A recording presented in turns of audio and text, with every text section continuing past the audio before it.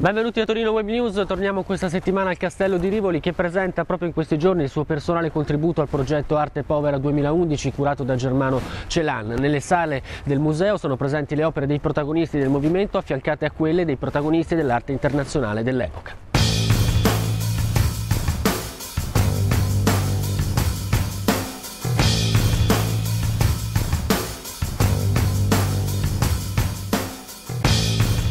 Le opere selezionate provengono da collezioni museali e da una fitta rete di collezionisti privati che dalla fine degli anni 60 si sono occupati di arte povera. Gli artisti internazionali sono stati selezionati attraverso un'accurata ricerca scientifica delle mostre che dal 66 al 72 hanno messo in relazione l'arte povera con le diverse correnti internazionali come la land art la conceptual e body art. Le sale dei due piani del castello ospitano quindi un discorso autonomo dei singoli artisti dell'arte povera e uno in parallelo con personalità come Vito Acconci, Carl Andre, John Baldessarri, Robert Barry, Daniel Buren e molti altri.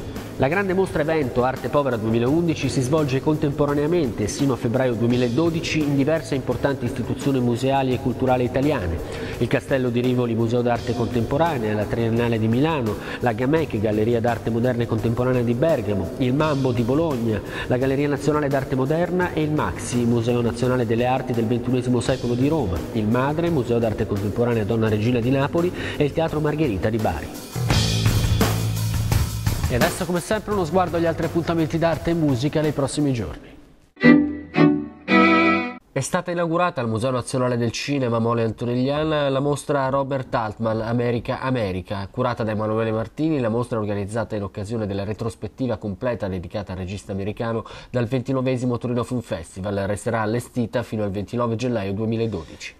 Martedì 18 ottobre alle ore 21 al Conservatorio Giuseppe Verdi, concerto dell'Orchestra Filarmonica di Torino, stagione 2011-2012. La programmazione persegue le linee che hanno dettato il successo di pubblico e critica riscosso dall'orchestra negli anni precedenti, inedite sfide tematiche, ricerca di modalità di ascolto inconsuete e commissioni di nuova musica. Giovedì 20 ottobre alle 20.30 invece all'Auditorium RAI Arturo Toscalini l'Orchestra Sinfonica Nazionale della RAI esegue un concerto con musiche di Mendelssohn e Tchaikovsky alla direzione d'orchestra Juraj Valkua.